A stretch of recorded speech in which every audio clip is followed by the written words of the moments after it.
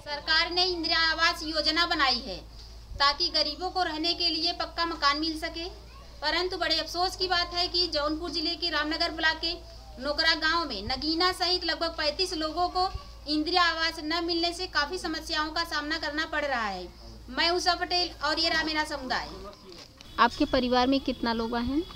ग्यारह आपके परिवार का खर्च कैसे चलता है अब टिकुरी करी थे अधिया बोई थे मजूरी करी थे। बड़ा दुख बड़ा दु- हमें सबके बहुत तकलीफ़ बा।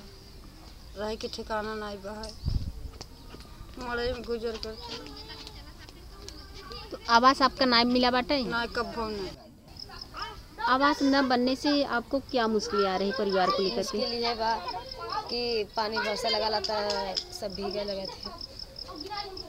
परिवार में कितने लोग हैं? नौ लोग आप प्रधान से कभी बात की थी आवास के लिए? हाँ बात किए थे। तो क्या बोले प्रधान जी?